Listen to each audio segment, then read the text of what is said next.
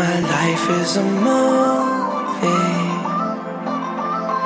and everyone's watching.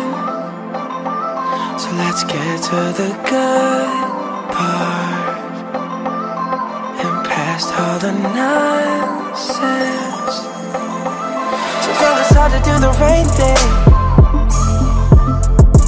when the pressure's coming down like lightning.